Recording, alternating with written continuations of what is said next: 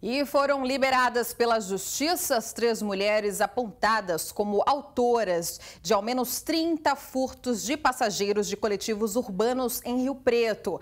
As suspeitas passaram por audiência de custódia ontem à tarde e vão responder em liberdade. Olha, as mulheres foram presas na última terça-feira no ponto do Mercadão Municipal, durante aí uma investigação do GOI, que é o Grupo de Operações Especiais. Né? Por 40 dias, os policiais, a campana, passaram-se aí por passageiros das linhas dos ônibus em que as suspeitas agiam. As, os investigadores entrevistaram vigilantes e analisaram câmeras de monitoramento. Os policiais recuperaram bolsas, carteiras e R$ 1.800 em dinheiro.